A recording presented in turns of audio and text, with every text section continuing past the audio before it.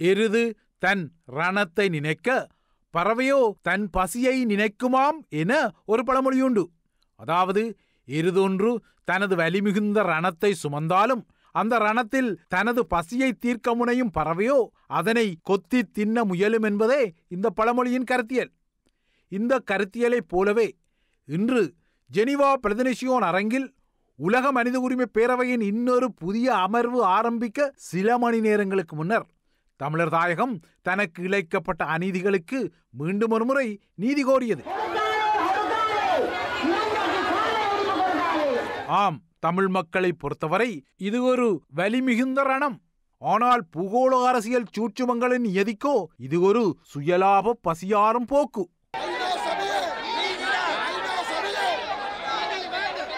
ஆயினும் தனது வலிமிகுந்த ரணத்தை வெளிப்படுத்த தவறாத தமிழினம் மீண்டும் ஒரு முறை இன்றும் அறவழியில் அதற்காக போராடியது.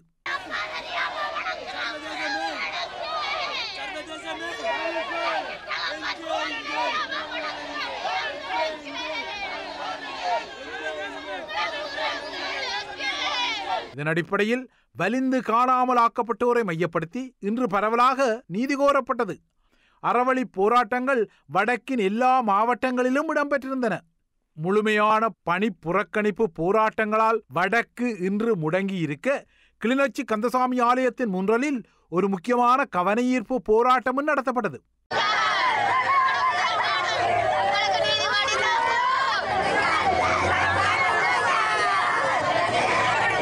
இலங்கை அரசுக்கு காலக்கெடு வழங்காது இலங்கை அரசுக்கு நடவடிக்கை வழங்காது வேண்டும் வேண்டும் வேண்டும் வேண்டும் கடந்த இரண்டாயிரத்தி பதினேழில் இதே நாளில் இதே ஆலயத்தின் முன்றலில் ஆரம்பமான இந்த அறவழி போராட்ட தடமானது காணாமல் ஆக்கப்பட்ட தமது உறவுகளுக்கு கடந்த இரண்டு வருடங்களாக நீதியை கோரிய ஒரு துன்பியல் தடமாக பதிவானது.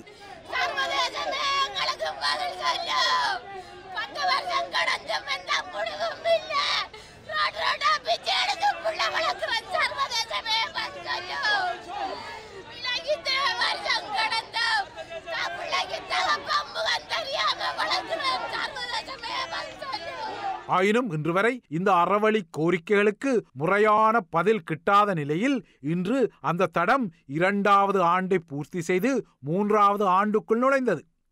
பொதுவாகவே இரண்டாயிரத்தி ஒன்பதுக்கு பின்னர் ஒவ்வொரு முறையும் ஐநா மனித உரிமை பேரவையின் அமர்வுகள் ஆரம்பிக்கப்படும் வேளை தமது இனத்தின் மீதான பெரும் உதிரப்பலிக்குரிய அறவழி அதிர்வுகளை ஈழத் தமிழினம் தாயகம் புலம்பெயர் தேசங்கள் என வெளிப்படுத்தி வருவது அவதானிக்கப்பட்ட ஒரு விடயம்.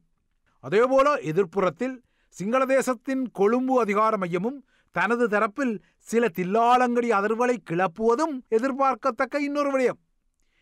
ஆனால் ஈழத்தமிழினத்தை பொறுத்தவரை அவர்களின் இந்த நீதிகோரல் தடமானது பூகோள அரசியல் நிலவரங்களுடன் உரசியபடி செல்லும் ஒரு பாதகத்தன்மை இன்று வரை தொடரத்தான் செய்கின்றது. இதனால் தமிழர் தாயகம் இன்று மீண்டும் ஒருமுறை தனக்குரிய நீதியை கோரினாலும் அடுத்த மாதம் ஜெனீவா அரங்கில் ஸ்ரீலங்காவுக்கு வழங்கப்படக்கூடிய கால அவகாசத்தை இந்த நீதியான குரல்கள் எவ்வளவு தூரம் ஊடர்த்து கொள்ளும் என்பது ஒரு முக்கியமான வினாவாகவே தொக்கி நிற்கின்றது. ஏனெனில் தமிழ் மக்களின் உதிரப்பலியை மையப்படுத்திய இந்த அதிர்வுகள் கூட்டு களவாணித்தனமான பாங்குடன் அனைத்துலக அதிர்வுகளாகவும் அவ்வப்போது வெளிப்பட்டுக் கொள்வது வளமையானது. இதனால் ஜெனீவாவில் மீண்டும் ஸ்ரீலங்காவுக்கு கால அவகாசம் ஒன்று வழங்கப்படக்கூடாது என இன்றைய போராட்டங்களிலும் குரல்கள் ஒலித்தன.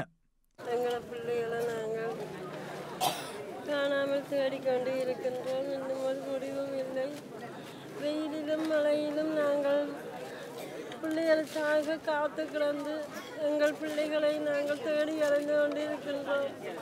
என்று ஒரு அரசும் சர்வதேசம் எங்களுக்கு ஒரு முடிவும் சொல்ல பாடில்லை. நாங்கள் இப்படி ரோட்டிலேயே நின்று இவ்வளவு தூரம் நடந்து வந்து எங்களை பிள்ளைகள் இதுக்காக அழிய வேண்டி இருக்குது எப்போது எங்களுக்கு இந்த முடிவு தெரிய வரும்? எங்களுக்கு ஒரு நல்ல முடிவை தர மாட்டார்களா அவர்கள்? ரெண்டாயிரத்தி ஆறாம் ஆண்டு எங்களோட தம்பி காணா போனவர். நாங்கள் ரெண்டாயிரத்தி ஆறாம் ஆண்டில் இருந்து தேர்றோம் தேர்றோம் ஒரு முடிவுமே வரையில் எங்களோட தம்பியை இனி மீண்டு தருமான தாழ்மையாக கேட்டு എൻ്റെ രണ്ട് പിള്ളേർ കാണാതെ പോയിട്ട് பத்து வருஷமாக நான் ரோட்டில் தீர்த்து தேடுறது என் பிள்ளைகள் ரெண்டில் ஒரு பிள்ளை என்ன முடிவு வந்தாலும் வரும் இந்த வருஷ கடைசியில் என்று நம்பி நான் இதை கதைக்கிறேன் எங்கே இருந்தாலும் என் பிள்ளைகளை தேடி கண்டுபிடித்து தருவாரு கேட்டுக்கொள்கிறேன் ரெண்டாயிரத்தி ஒன்பதாம் ஆண்டு இந்த பென்ஷனில் காண இல்லை தேடி தரும்படி நான் தெரியாத இடமும் இல்லை எனக்கு என்ற பிள்ளையை தேடி தரும்படி நான் தாழ்மையிடுங்க இந்த பிள்ளை இவ்வளோ காலமாக நானும் தேடாத இடமெல்லாம் தேடி அழியாத இடமெல்லாம் அலைஞ்சு எல்லா இதுகளுக்கும் போய் வந்து இன்னும் பெற்ற இவ்வளோ காலத்துக்கும் இந்த பிள்ளையில் இல்லை. எனக்கு மூன்று பிள்ளைகள் இழந்துட்டேன் நான் யுத்தத்தில். நான் பாதிக்கப்பட்டு இப்போ இந்த பிள்ளையை தருமாறு நான் நடுக கூடி கேட்டுக்கொண்டு நாங்கள் ஒவ்வொரு கூட்டமும் ஒவ்வொரு நடையாத்திரிகிறோம்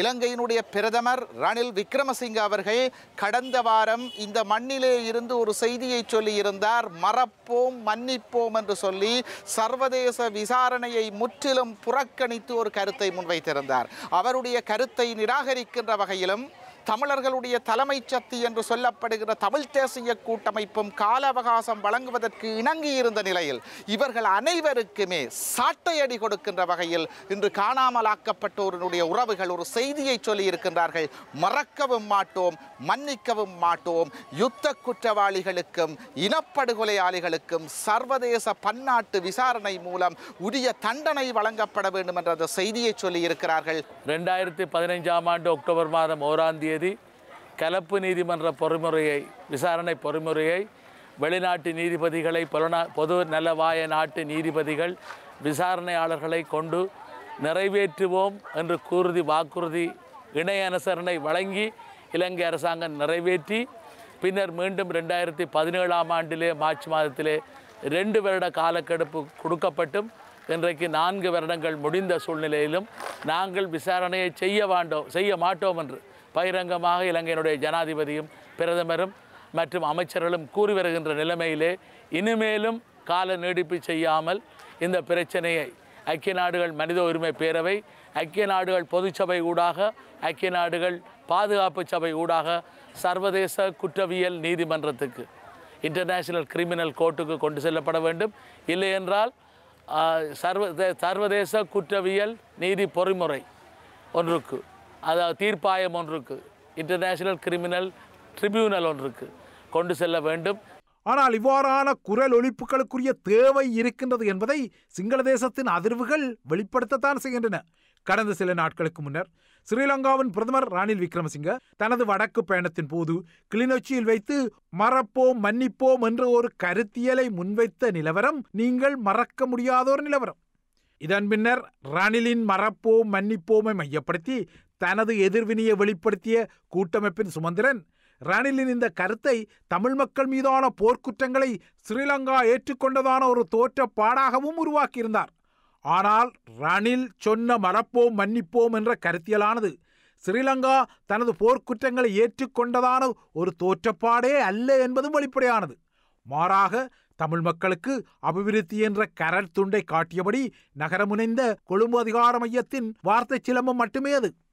இந்த நிலையில் தமிழர் தரப்பில் சுமந்திரன் போன்ற அரசியல் முகங்கள் ரணிலின் மறப்போம் மன்னிப்போன் கருத்தின் பின்னணியிலுள்ள தில்லாலங்கடித்தனத்தை புரிந்தும் புரியாமல் விட்டாலும் கூட ஐநாவின் முன்னாள் மனித உரிமை ஆணையாளர் நவநீதம் பிள்ளை அம்மையார் கச்சிதமாக புரிந்து கொண்டிருப்பதை அவரது அண்மைய கருத்து புலப்படுத்தியது.